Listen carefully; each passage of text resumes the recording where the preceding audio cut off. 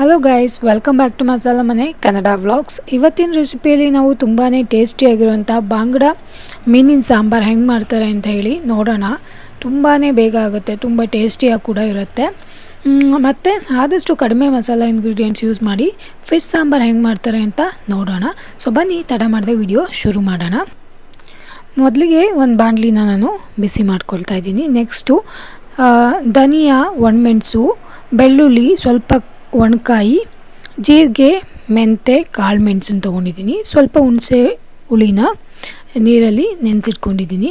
ಇವಾಗ ಏನು ಬಾಣಲಿ ಬಿಸಿಯಾಗಿತ್ತಲ್ಲ ಅದಕ್ಕೆ ನಾನು ಈ ಮಸಾಲ ಇಂಗ್ರೀಡಿಯೆಂಟ್ಸ್ನೆಲ್ಲ ಹಾಕ್ಕೊಳ್ತಾ ಇದ್ದೀನಿ. ನಾನು ಒಣಕಾಯಿ ತೊಗೊಂಡಿದ್ದೀನಿ, ನೀವು ಹಸಿಕಾಯಿ ಕೂಡ ತಗೊಳ್ಬೋದು.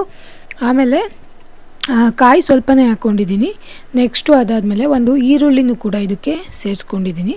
ನೆಕ್ಸ್ಟು ಇದನ್ನೆಲ್ಲ ಒಂದು ಮಿಕ್ಸಿ ಜಾರ್ಗೆ ಹಾಕ್ಕೊಂಡಿದ್ದೀನಿ ಹುರಿದಾದ್ಮೇಲೆ.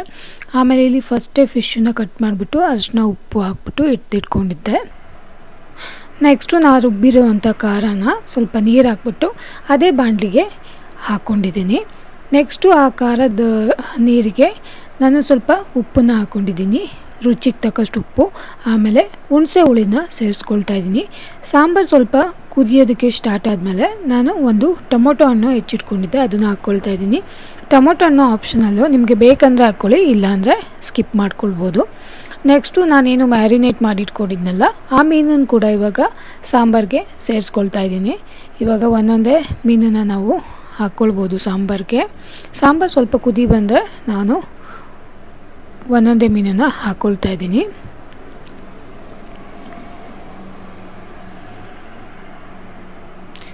ಸೊ ಇದು ಬಾಂಗ್ಡ ಫಿಶ್ ಸಾಂಬಾರು ಮಾಡಿ ಸ್ವಲ್ಪ ಹೊತ್ತು ಇಟ್ಟು ಸ್ವಲ್ಪ ಹೊತ್ತು ಅಂದರೆ ಬೆಳಗ್ಗೆ ಮಾಡಿದ್ರೆ ಸಂಜೆ ತಿಂದರೆ ಚೆನ್ನಾಗಿರುತ್ತೆ.